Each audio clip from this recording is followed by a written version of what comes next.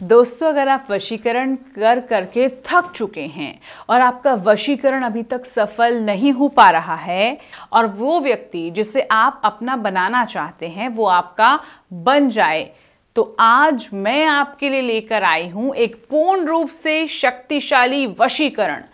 मात्र लौंग के प्रयोग से। लेकिन उससे पहले मैं आपको ये बता दूँ कि वशीकरण इतना प्रचंड है, इसको आपको ध्यान रखकर करना है। जी हाँ इस लौंग की मदद से हम वशीकरण करेंगे और किसी को अपना बना लेंगे। तो आइए मैं आपको बताती हूँ आखिर आपको इसको करना कैसे है।